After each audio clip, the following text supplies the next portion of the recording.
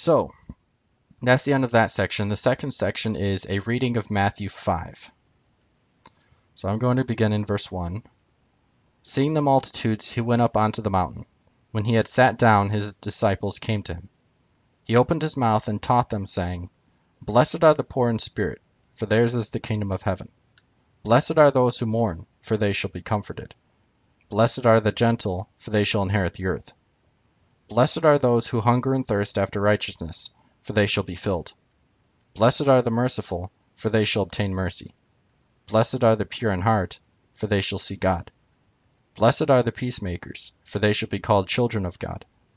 Blessed are those who have been persecuted for righteousness' sake, for theirs is the kingdom of heaven. Blessed are you when people reproach you, persecute you, and say all kinds of evil against you falsely, for my sake. Rejoice and be exceeding glad, for great is your reward in heaven, for that is how they persecuted the prophets who were before you. All right. So let's see what my points are. Out of all the types of people who are blessed according to Jesus, how are they similar? Some may say that all of those who are blessed according to these verses are blessed because of their character. For example, blessed are you when people reproach you, persecute you, and say all kinds of evil against you falsely for my sake. So in this example, then um, you are blessed because of your character. Uh, oh, okay, sorry. I was getting lost there.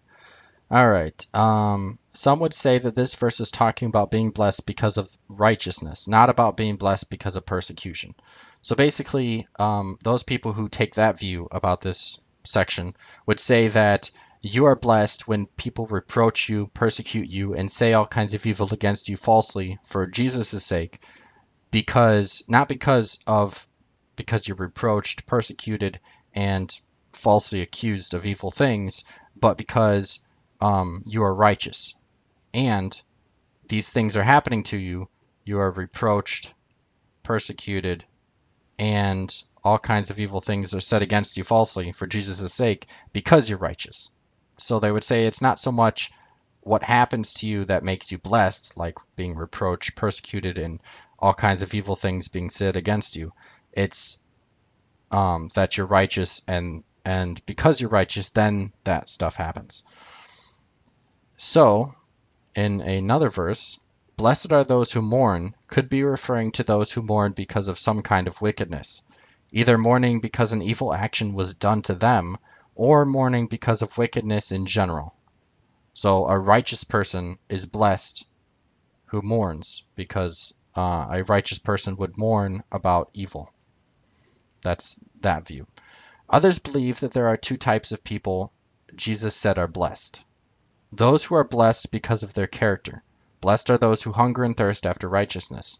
So those who hunger and thirst after righteousness are those who really, really want uh, righteousness in the world, in their own lives, in, just in general.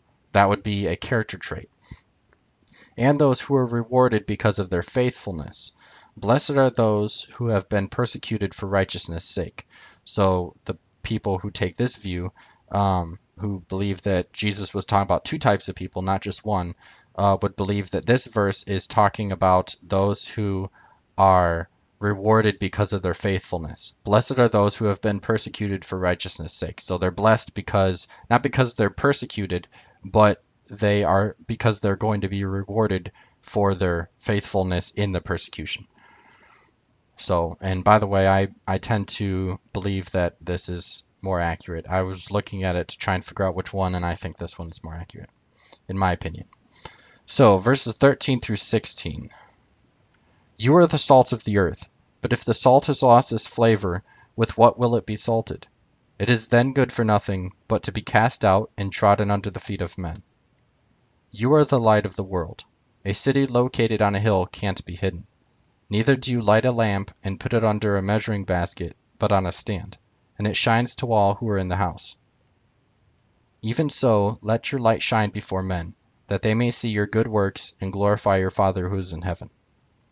So, my question is who is Jesus talking to in these verses? Many times people treat verses 13 through 16 as if Jesus was talking to modern day Christians. Verses 1 and 2 says that Jesus was teaching a multitude. Let me go back up. Seeing the multitudes, he went up on, onto the mountain. When he had sat down, his disciples came to him, and he opened his mouth and taught them, saying, In Matthew chapter 4, verse 25, the final verse in chapter 4 says, and I'm not going to go there, I'm just going to quote this Great multitudes from Galilee, Decapolis, Jerusalem, Judea, and from beyond the Jordan followed him. So, he wasn't talking to modern day Christians. He had an audience in front of him, and he was talking to a multitude which consisted of those from Galilee, Decapolis, Jerusalem, Judea, and from beyond the Jordan. We can safely assume there were Jews there, and possibly Samaritans and others as well. So, why did Jesus say, You are the light of the world, a city located on a hill can't be hidden? speaking to all of these different people from different regions. I don't think he said what he said in verse 14 simply because these people came to him. I think he said this because many of his listeners were Jews who were God's chosen people, and many of them, whether they were Jews or not, knew the law of Moses. This is implied later on in this chapter, and especially knew who Jehovah was. This doesn't mean these verses don't apply to us. This just means he didn't say them directly to us. That's my main point. They still can apply, but um, he wasn't speaking directly to us, so to act like he was is, you know, I don't know. I, I it frustrates me sometimes when people do that, but that's just me. I know other people think differently. All right, 17 through 20. Don't think that I came to destroy the law or the prophets. I didn't come to destroy, but to fulfill. For most certainly, I tell you, until heaven and earth pass away, not even one smallest letter, or one tiny pen stroke, shall in any way pass away from the law, until all things are accomplished. Whoever therefore shall break one of these least commandments, and teach others to do so, shall be called least in the kingdom of heaven. But whoever shall do and teach them shall be called great in the kingdom of heaven. For I tell you that unless your righteousness exceeds that of the scribes and the Pharisees and Pharisees, there is no way you will enter into the kingdom of heaven. And um, hmm, let's see. It says u me in Greek. That would be u and me, which means not not, or like it says here, uh, there is no way, or certainly not you will certainly not enter into the kingdom of heaven. All right, so um, verses 17 through 20 introduce the rest of Jesus' dialogue in verses 21 through 48. So basically, uh, 17 through 20 says, Don't think that I came to destroy the law or the prophets. I didn't come to destroy, but to fulfill. Um, in the rest of this chapter, he's basically just talking about the law. Uh, knowing this will help us to understand what he says in those verses. So verses 21 through 48. So those verses are talking about the law, and uh, you might that might be obvious to you when you just read it, but at the same time, it might just pass over your head. So it's I I think it passed over my head the first time I read it. People tend to explicitly misuse verse 18. So it says, "For most certainly I tell you, until heaven and earth pass away, not even one smallest letter or one tiny pen stroke shall in any way pass away from the law, until all things are accomplished. Many authors who do this leave out the words at the end of the verse, which say, From the law until all things are accomplished. They use this verse to back up the claim that nothing in Scripture could have been changed. So they say, um, well, yeah, that nothing in Scripture could have been changed. So they say that um, that not even one smallest letter or one tiny pen stroke could have been changed in Scripture. Or their claim, or they use it to back up their claim, that Scripture is without error. Now, I'm not necessarily disagreeing with what they're saying. I do not believe that Scripture contains errors, but I do believe that the text can contain errors. But that's a different subject. I just wanted to clarify because I didn't want anyone thinking that I don't believe in uh, you know, um, I didn't I didn't want anyone to think that I thought that scripture is can have errors in it. But anyways. So, um, whether what they claim is true or not, they are still misusing scripture. I guess that kind of explains it. Notice what it's, that it says, not even one smallest letter or one tiny pen stroke shall in any way pass away from the law. They say they use it to back up the claim that nothing in Scripture, Scripture, could have been changed. Or they use it to back up the claim that Scripture is without error. But it says, not even one smallest letter or one tiny pen stroke shall in any way pass away from the law. It's not talking about Scripture completely. Scripture would be all of the Bible. The law is a portion of the Bible. Jesus is specifically specifically talking about the law in this verse, not all of scripture. The law would be Genesis, Exodus, Genesis, Exodus, Leviticus, and Deuteronomy. That would be the Jewish law, the Torah. And that's what Jesus says. Not even one smallest letter or one tiny pen stroke shall in any way pass away from the law until all things are accomplished. Notice that it says, until all things are accomplished. The all things Jesus is talking about are the prophecies contained in the law, contained in Genesis, Exodus, and so on, and the prophecies contained in the prophets, Isaiah, Jeremiah, and so on. Specifically, he's talking about the prophecies concerning himself. Verse 17 says, Don't think that I came to destroy the law or the prophets. I didn't come to destroy, but to fulfill. In other words, accomplish, to complete. Uh, the Greek word is uh, plero, which means to fill in general. It can mean like fill completely or, well, you know, to fill. If you fill something as full, that's what it means. It means to fill. But um, as far as prophecies are concerned, it's used constantly that I've seen. It's used constantly. The word plero is used, they say, to fill the scriptures or to fulfill the prophecies. And so it basically just means when it as far as uh, fulfilling the prophecies, they mean to complete, to accomplish. The prophecies prophesied something, and um, if they're prophesying about Jesus, that Jesus fulfilled the prophecy. He completed what they said he would do, if that makes any sense. All right, so verses 21 through 48. So, well, let me, um, I just want to make sure that you understand. Basically, what I'm saying is, is, um, it frustrates me that a lot of people misuse this, even when they have good intentions, even if what they're saying is true, even if they're right, they still misuse it. And it, I don't know why they do that.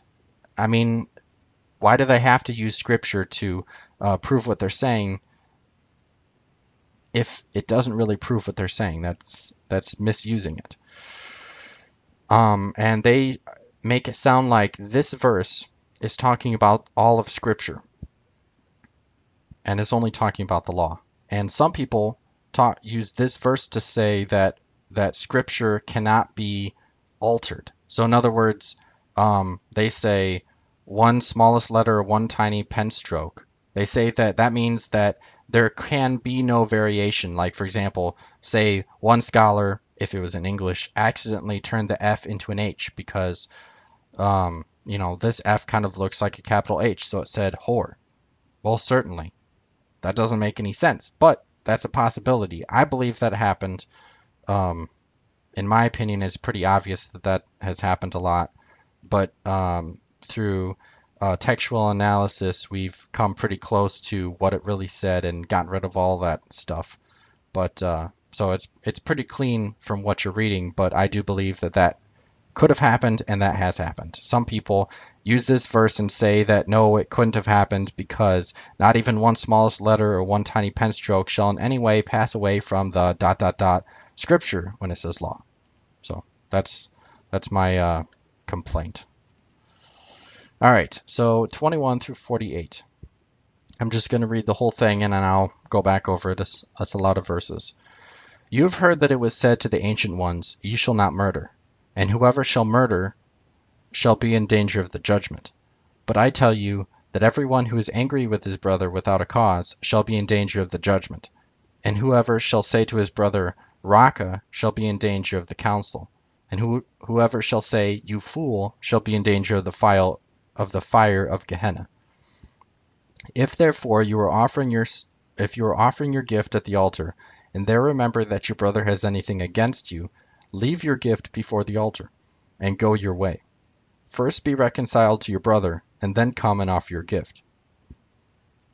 Agree with your adversary quickly while you are with him on the way, lest perhaps the prosecutor deliver you to the judge, and the judge deliver you to the officer, and you be cast into prison. I just want to say one short thing.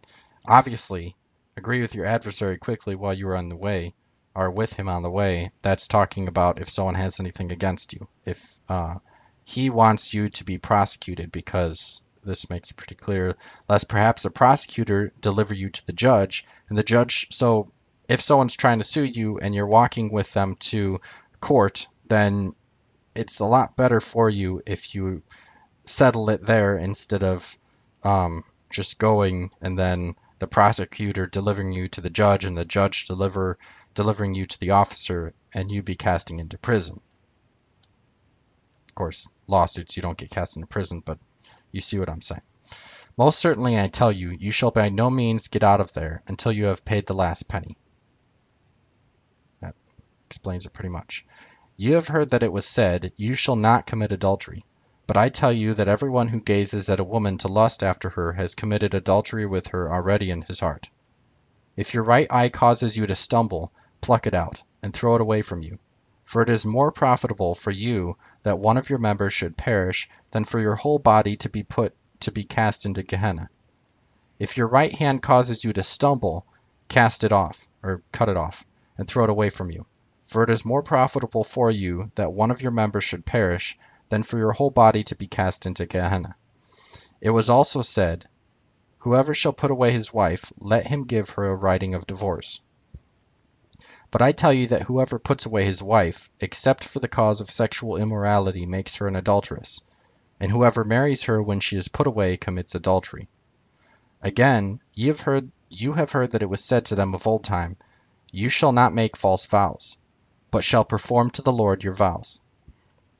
But I tell you, don't swear at all, neither by heaven, for it is the throne of God, nor by the earth, for, for it is the footstool of his feet, nor by Jerusalem, for it is the city of the great king. Neither shall you swear by your head, for you can for you can't make one hair white or black, but, but let your yes be yes, and your no be no. Whatever is more than these is of the evil one. You have heard that it was said, An eye for an eye, and a tooth for a tooth.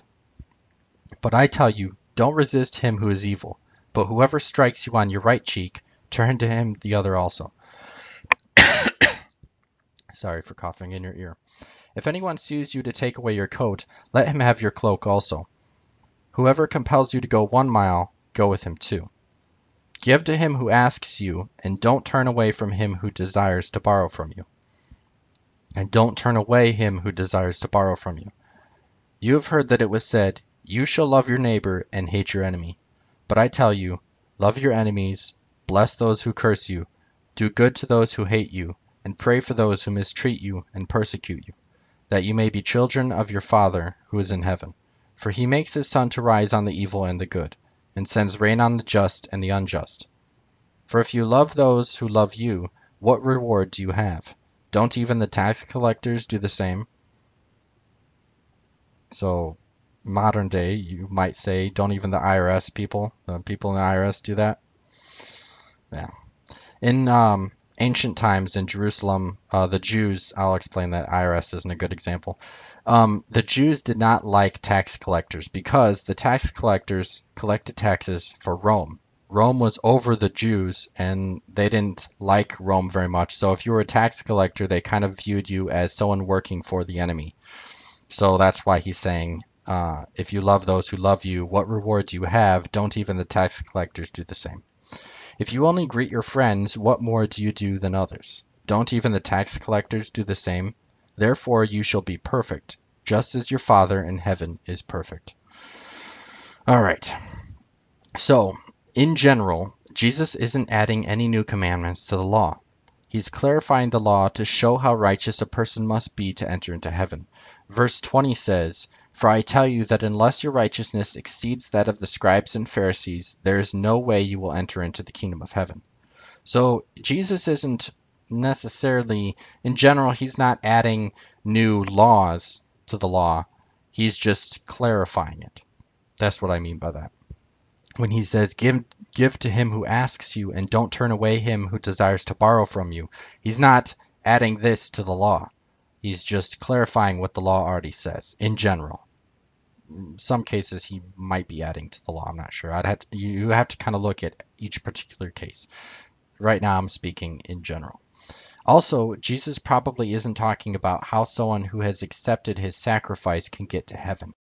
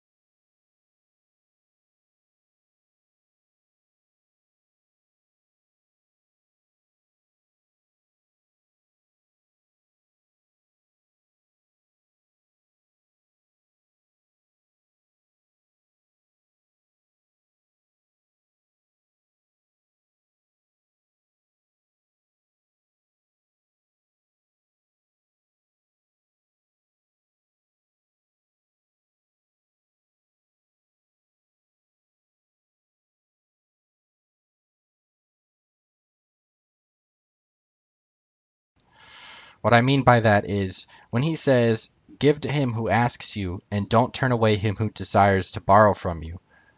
That's Jesus isn't saying that if you don't do this, which this, by the way, is a command. Um, let's see, this, vivu, which is give. It's a command. In English, it's also a command. Give to him who asks you. Don't turn away from him who bar- who uh, desires to borrow from you.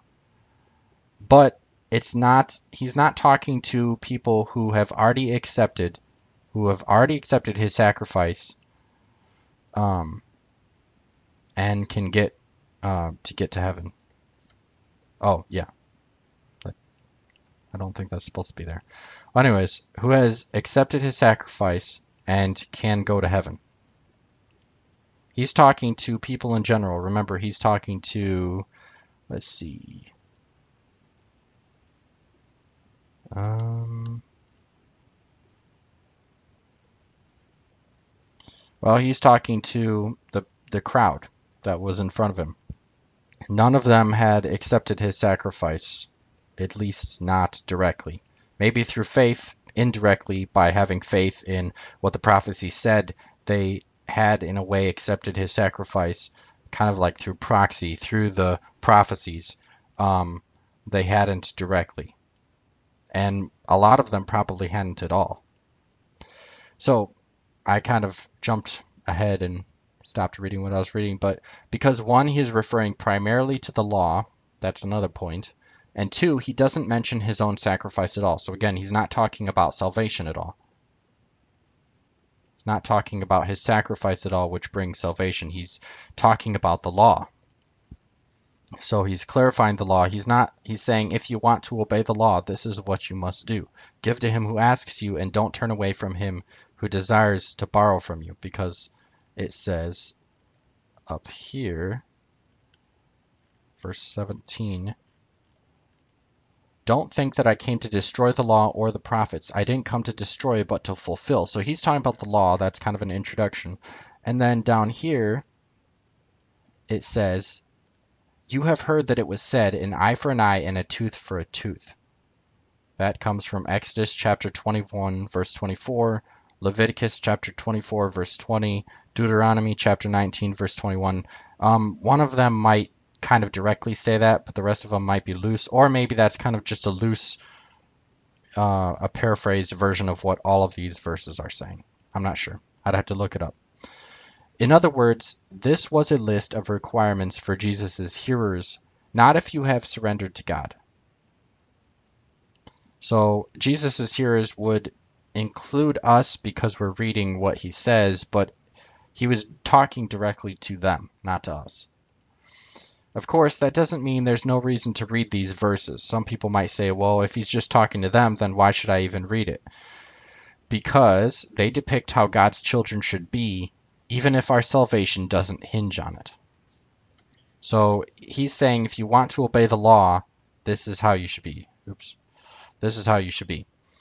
Um, but that doesn't, just because our salvation doesn't hinge on us doing this, that doesn't mean that we shouldn't do it. Because remember that the law is based off of God's uh, God's view of righteousness. Uh, it's based on right and wrong, basically.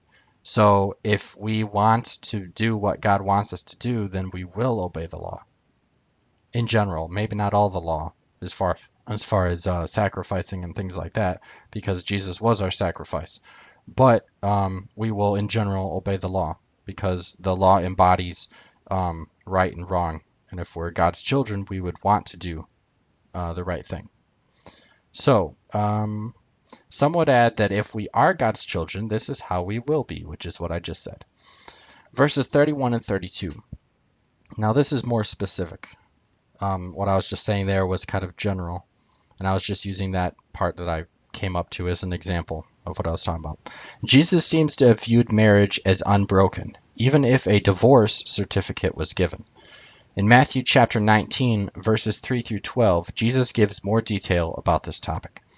He says, But I tell you that whoever puts away his wife, except for the cause of sexual immorality, makes her an adulteress, and whoever marries her when she is put away commits adultery.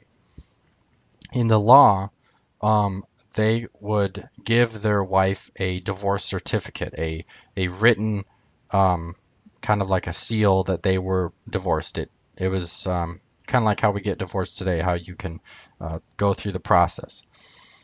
Um, but Jesus is saying that even if a man gives his wife a divorce certificate, if he puts her away, except or or divorces her basically, except for the cause of sexual immorality, he makes her an adulteress.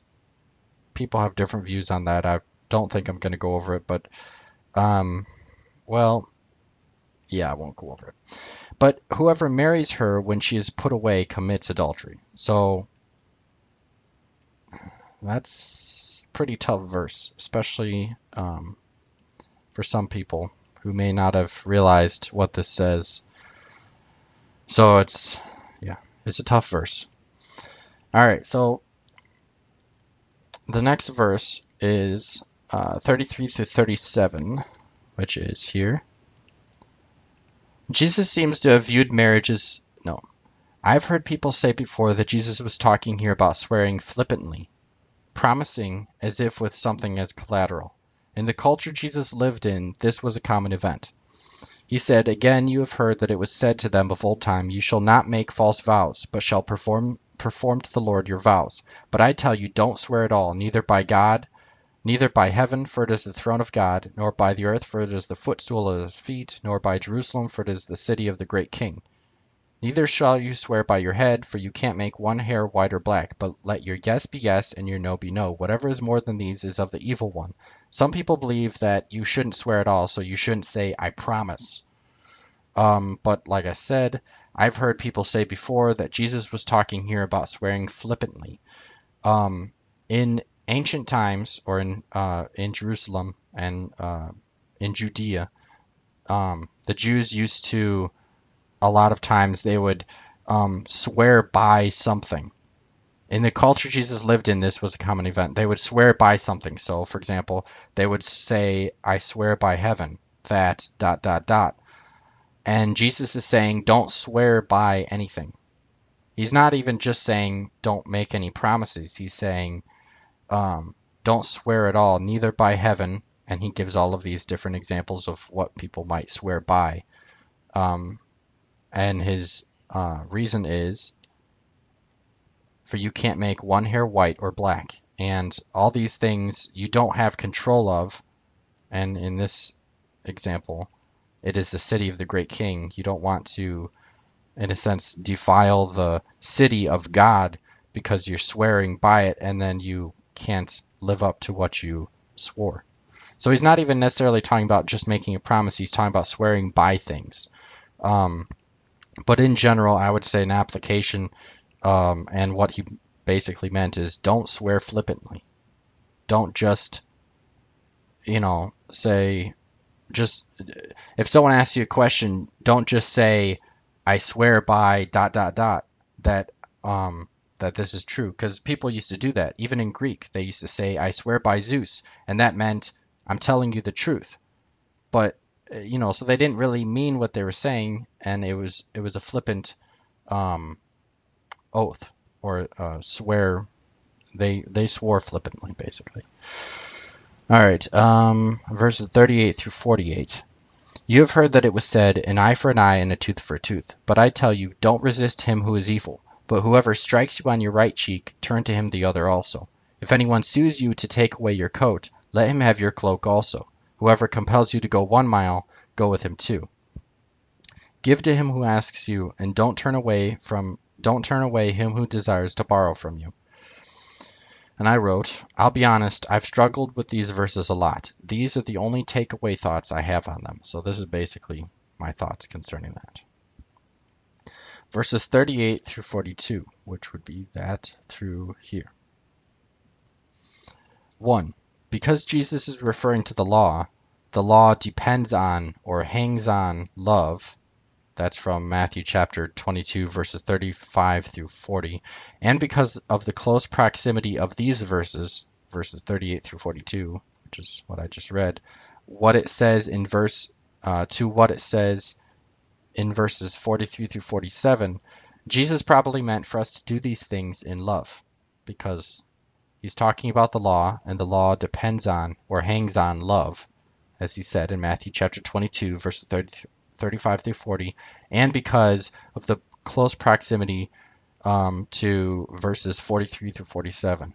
43 says, You have heard that it was said, You shall love your neighbor and hate your enemy. 44 says, But I tell you, love your enemies, bless those who curse you, do good to those who hate you, and pray for those who mistreat you and persecute you. And then it continues. So this is talking about love. It's pretty clear, especially since the verse first command is love your enemies. And then bless those who curse you would be an act of love. Do good to those who hate you would be an act of love. Pray for those who mistreat you and persecute you would be an act of love. So because of um, these verses, if anyone sues you to take away your coat, let him have your cloak also. Uh, these the proximity of these verses to the other verses, and because this is still talking about the law, and Jesus said that the law is can be summed up in the love the Lord your God with all your heart, with all your soul, with all your mind, with all your strength, and love your neighbor as yourself, then I would say that this is also about love. That's my first point.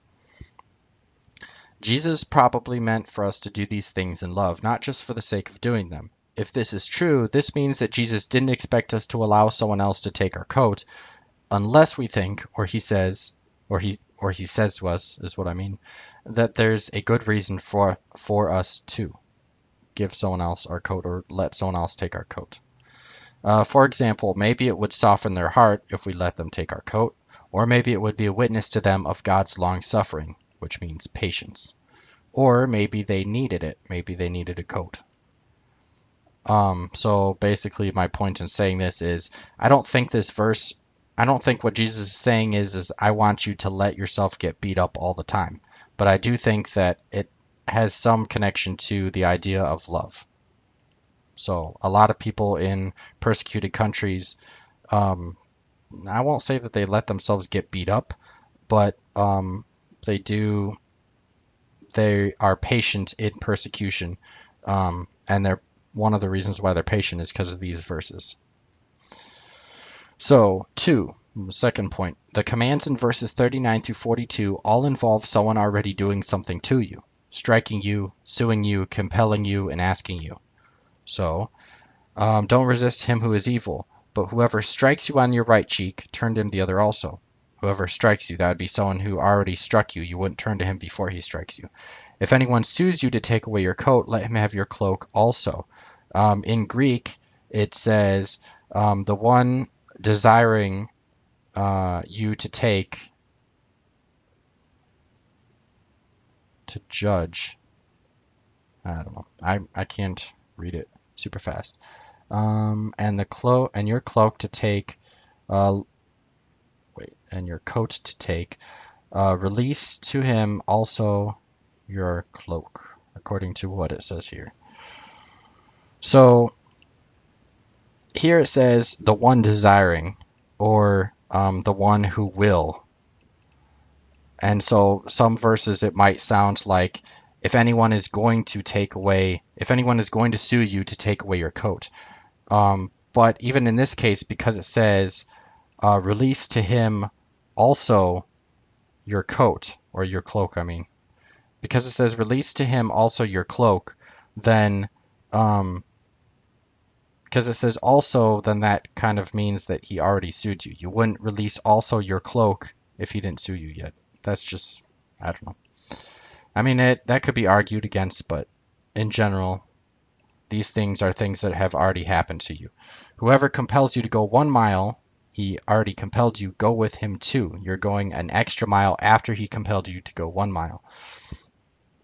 So it's not that you're preemptively letting people walk all over you. It's after people have done things, then you choose and you purposely um, have it work even more. And I believe it's to show love, to show God's love. Give to him who asks you. He's already asked you. You give to him who asks you. And you don't turn away him who desires to borrow from you. Now, desires means uh, doesn't necessarily mean that he already asked you. But um, if you want to, if in order to know if he asked you or not, he would have to ask you. Or in order to know if he desires to borrow from you, he would have to ask you. So you wouldn't. Oh, well, I mean, in general, you wouldn't really know if he desires to um, borrow from you or not unless he asks you. So even this, I would say, um, would be um, something that happens afterwards. So it's your response after something happens to you, after someone asks you if they can borrow from you. All right, 43 through 47 says, You have heard that it was said, You shall love your neighbor and hate your enemy. But I tell you, love your enemies, bless those who curse you, do good to those who hate you, and pray for those who mistreat you and persecute you, that you may be children of your Father who is in heaven. For he makes his sun to rise on the evil and the good, and sends rain on the just and the unjust. For if you love those who love you, what what reward do you have? Don't even the tax collectors do the same? If you only greet your friends, what more do you do than others? Don't even the tax collectors do the same? Therefore you shall be perfect, just as your Father in heaven is perfect. This again is about love. We are supposed to love even those who hate us, which is hard to do. That's a pretty obvious statement, but it's true. 2. Jesus Jesus' use of the word Father when referring to God was what uh, was what other teachers, or rabbis is what they would call them in Hebrew, had done before. This doesn't show that Jesus was only talking to those who believed on him. So some people might think because it says, Therefore you shall be perfect as your Father in heaven is perfect, then he's talking to Christians, because Christians are the only ones who have a Father uh, whose Father, whose um, Christians are the only one who God is their Father but um, actually there was other rabbis before Jesus. I've read this that have mentioned uh, that called God in heaven um, his hearer's father. So this doesn't prove that he was talking to Christians. This just he was just talking to his hearers, and he was using the same uh, term as um, other rabbis have done in the past. If anyone thinks these verses aren't difficult to follow, maybe they haven't taken the time to try and understand what it's really saying. In verse 40, the coat would be a person's undergarment. The cloak would be a thicker outer garment that would keep them warm, even at night. So, an example of these things would be Exodus chapter 22, verses 26 and 27, and Deuteronomy chapter 24, verses 10 through 13. I'm just going to go to Exodus chapter 22 and I'm going to um, show you what it says. Because it was significant for Jesus to say, if he takes your coat, let him have your cloak also. If you take your neighbor's garment as collateral, you shall restore it to him before the sun goes down. For that is his only covering. It is his garment for his skin. What would he sleep in? It will happen when he cries to me that I will hear, for I am gracious. Um, the cloak was what they would use to keep warm at night. So it would almost be like saying, if someone takes your clothes, give him your bed and your, or maybe not your bed, but at least your blankets also. What if it's cold at night? So that's why it's so significant what he was saying. He was saying, don't just let them take your clothes, or maybe not. If they sue you, you can't really, you, maybe you don't really have a choice, but you can at least not put up a fight about it. But don't just put up a fight about them hurting you by taking your clothes, which was obviously something that was necessary for life in general, um, and it was difficult to make. Um, but also give them even more than that, which is your cloak, which will, I mean, what are you going to wear? What are you going to wear at night? For that is his only covering. It is his garment for his skin. What would he sleep in? Um, so Jesus was saying that if someone were to sue you and take your coat, you could give him, you should give him what's even more important, your cloak. All right, so that's it. Um, I apologize for this very long video. Um, I was afraid it would be kind of long, but thank you for watching, everyone. Um, I just want to say if you enjoy these videos, if you find them useful, um, if you even find my ramblings useful, then I uh, I would like to ask you to um, you could buy products at my store. You can donate at the store. Uh, currently, there's one product, but I'm very, very, very close to putting a new product up on my store. Um, and uh, one of the one of the things that you can buy in that package that I'm going to put up is a uh, timeline of uh, uh, the genealogy from Adam to Jacob, and it's got a lot of detail. It's, um, in my opinion, is very very interesting. Um, it it has a lot of detail. I tried not to leave any information out that was in Genesis, um, and I don't know. You should look at it. You should check it out. It's very interesting. So I, I suggest that you buy that if you are interested in uh, the genealogy information and understanding that. So, all right. Well, thank you for uh, watching this video, everyone. See you next time.